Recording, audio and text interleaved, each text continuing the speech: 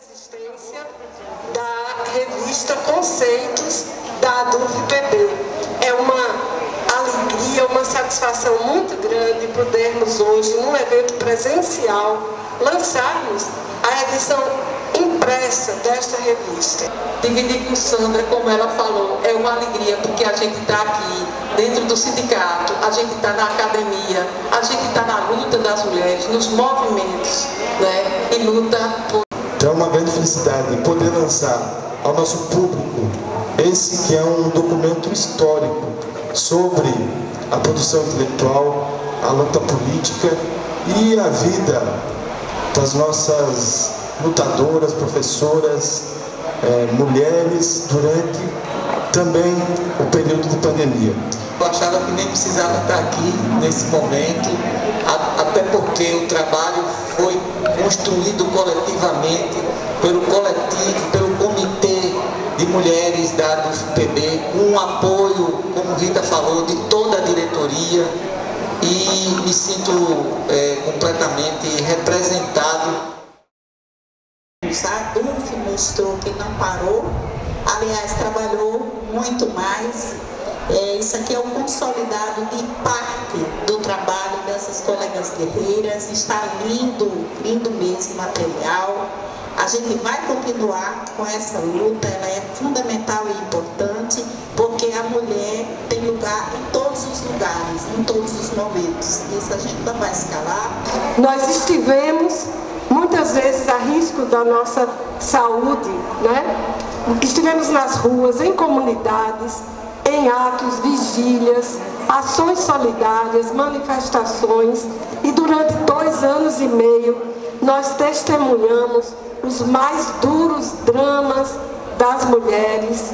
E numa praxis cotidiana que nos permite dizer hoje com muita certeza de que não há diferença alguma entre as grandes heroínas da nossa cultura e civilização e essas mulheres anônimas que tentam sobreviver numa sociedade injusta, machista e desigual. Então a minha fala se transformou né, nesse, nesse ensaio que aqui está na revista. O título é Memória, Protagonismo e Resistência de Mulheres no Brasil. Então, para falar de um tema tão amplo, né, para vir desde 1500 até os dias atuais, eu fiz uma pincelagem daquelas mulheres que mais me identifico e que mais ouvi com interesse. Então, dividi o, o, o texto em três períodos.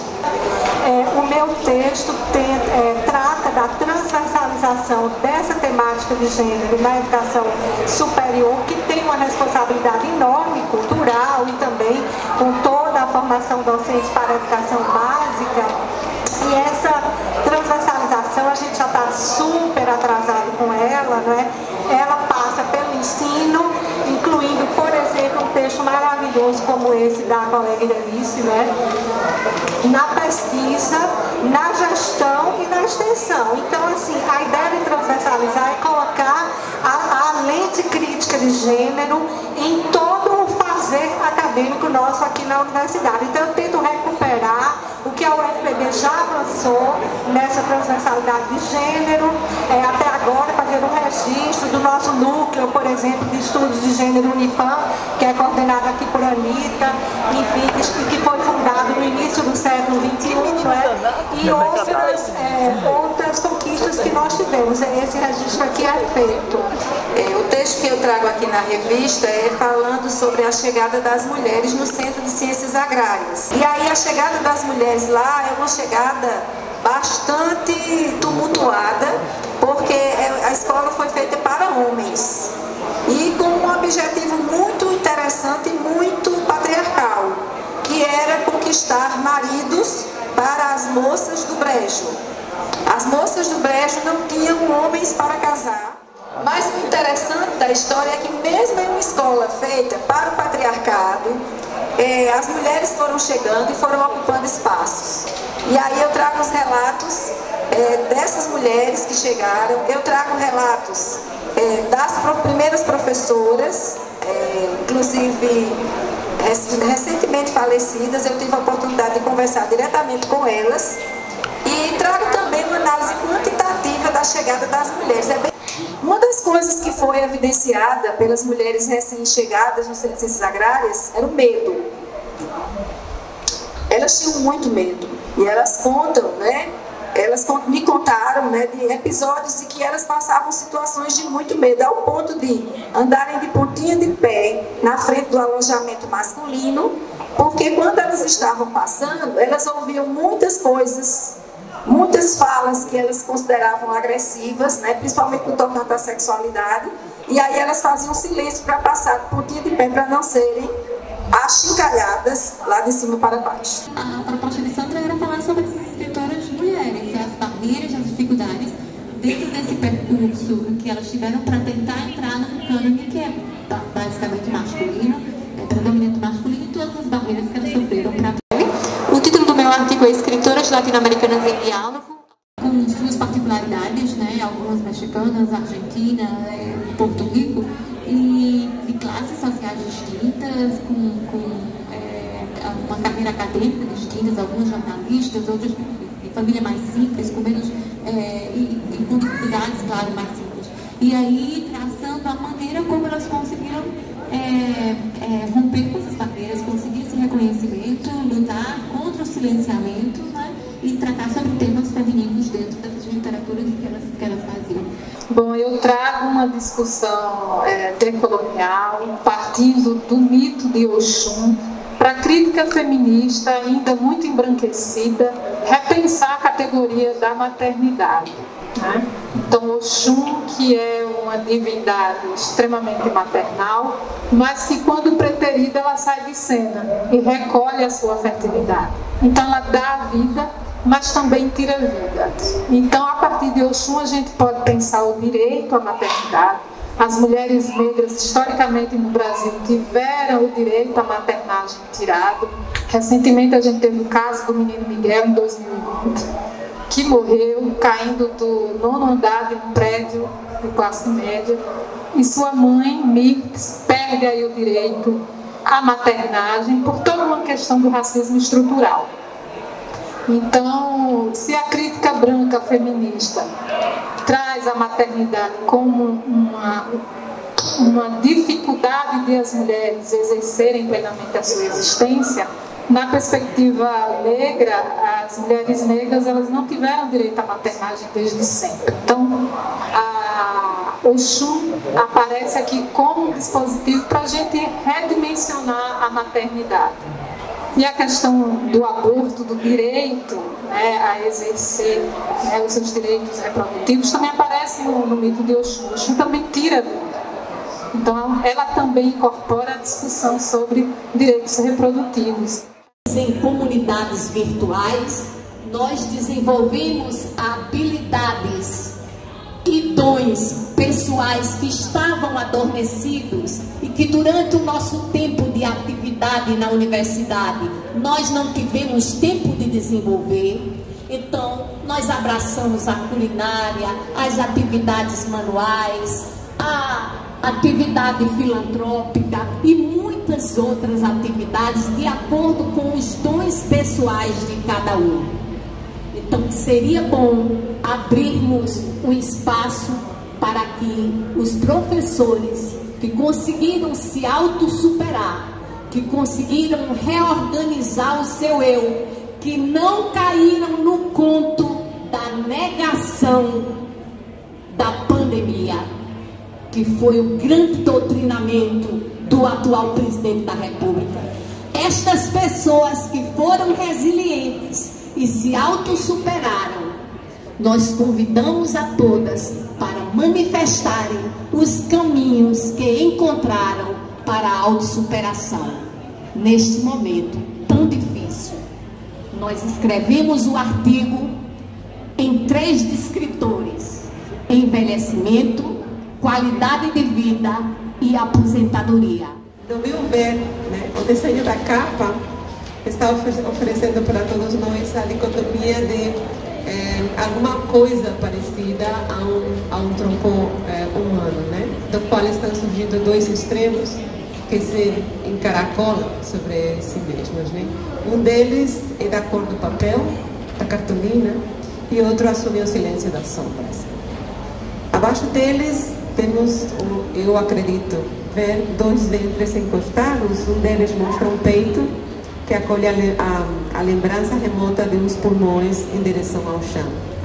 Parece um parto, creio eu, na intenção de partir para um mundo habitado por um só peito. Enquanto isso, outro peito gira e se esconde, rígido, apagado, aguarda.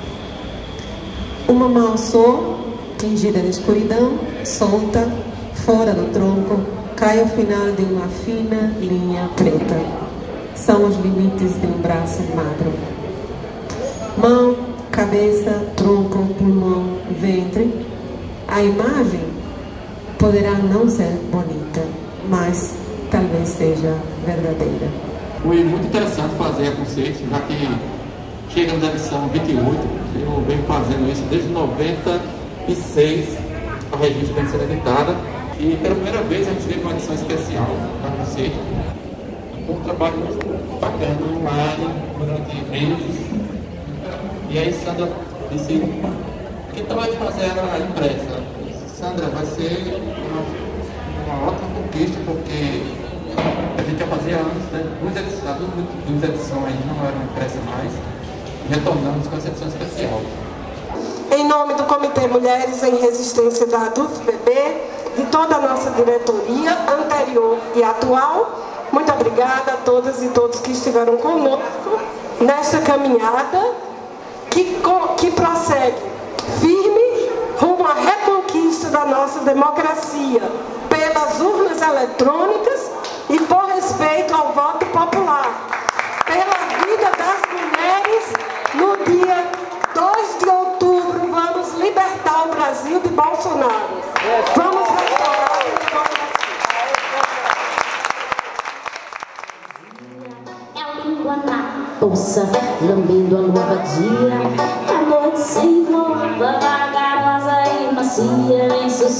teu nome, sussurra ventania. Vem sussurra teu nome, sussurra ventania. É a cachaça, é a fumaça, fisgando a luz do dia. É a pedra na vidraça, é o cisco, é a agonia. É o tombo na navalha, dissonante sintonia. É salgar o espinhaço do sapo incepcia no fundo do poço. É Coça nostra nostalgia lá no fundo do poço. É Coça nostra nostalgia quando lembro gostoso do teu corpo melaço, do teu lábio melado, melanina, melancia balançando em minha rede, usina da melodia balançando em minha rede, usinando a melodia em balance, dance, dance. Em mil dia balançando em minha rede Usina da melodia Uá,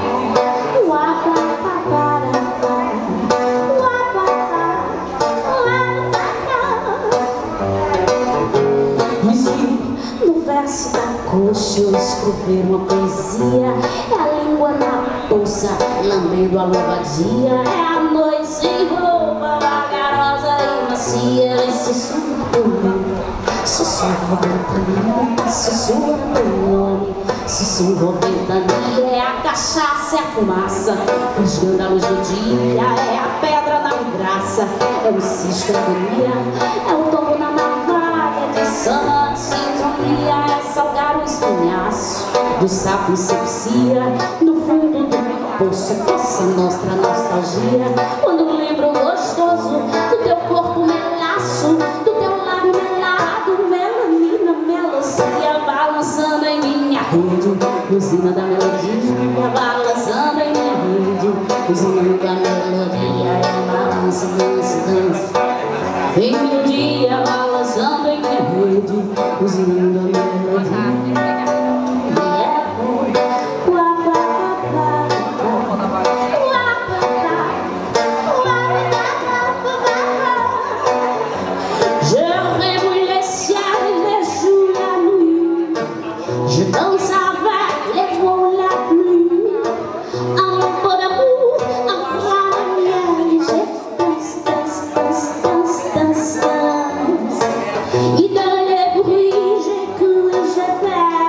Oh.